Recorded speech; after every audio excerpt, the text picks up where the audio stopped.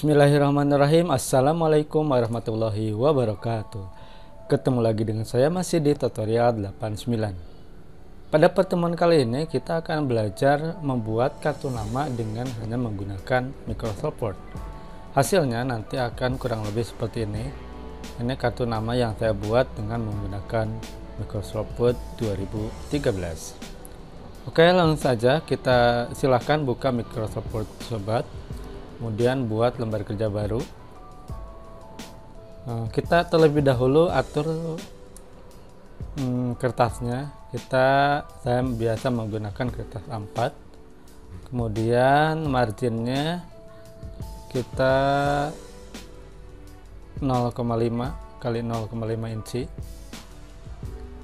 Nah setelah ini siap kita mulai membuat nama pertama kita masukkan gambar gambar background.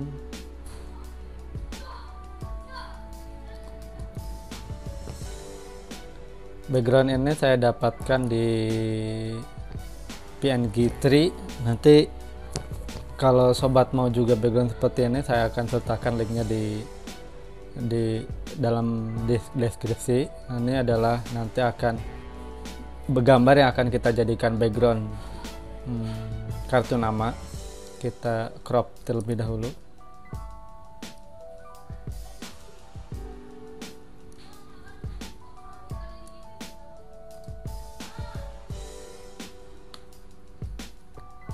Nah, kemudian kita di sini klik gambar background format. Kita ganti menjadi behind text selanjutnya kita buat kotak insert text box. Nah di sini kita buat ukurannya adalah karena ini untuk kartu nama kita buat ukurannya 2 2 inci kali 3,5 inci. Ini kita rubah menjadi ini format tadi ya text in front of text nah agar backgroundnya terlihat kita ubah warna kotak ini menjadi novel.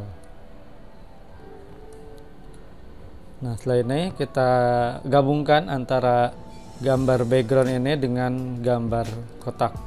Caranya kita klik kotak dulu kemudian klik kontrol pada keyboard Nah, sehingga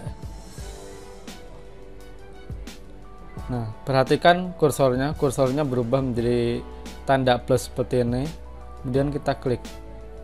Nah, sekarang background dan kotak text box tadi kita sudah bisa diklik dua-duanya, kemudian klik kanan, kita pilih group, group. Agar mempermudah pengaturannya, kita Nah, di sini klik format, kemudian di sini selection panel. Kita aktifkan. Nah, ini karena kotak atau gambar backgroundnya melebihi area melebihi area kartu nama, kita crop terlebih dahulu. Kita pilih gambar apa namanya background kemudian kita format crop. Kita cropkan samain dengan kartu nama ukuran kartu namanya.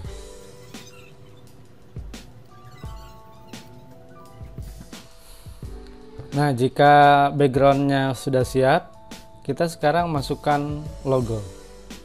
Logo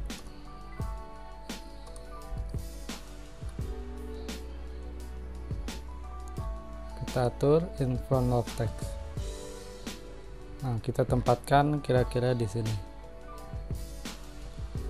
Nah, kemudian kita gabungkan.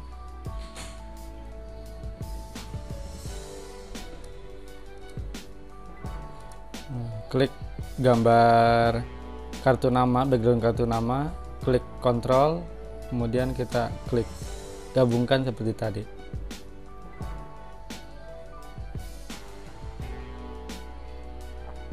Nah, sekarang kita mulai mengetik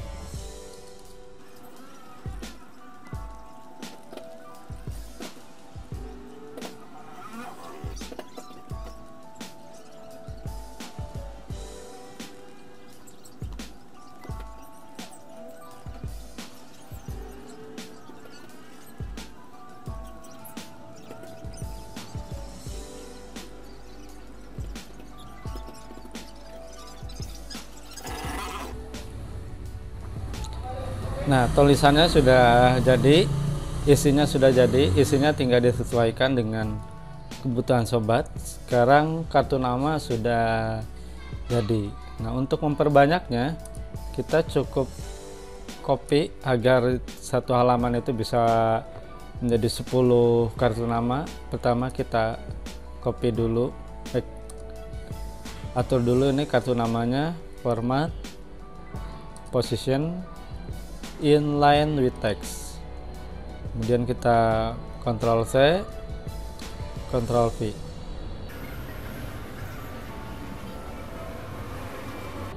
Nah, kartu nama sekarang sudah jadi dan siap dicetak. Bisa sobat bisa mencetaknya di kertas glossy dengan menggunakan printer biasa atau juga bisa dicetak ke percetakan. Kalau sobat ingin mencetaknya di percetakan, pastikan sobat hmm, menyimpan file ini dengan format PDF. Oke, sekian dan terima kasih. Wassalamualaikum warahmatullahi wabarakatuh.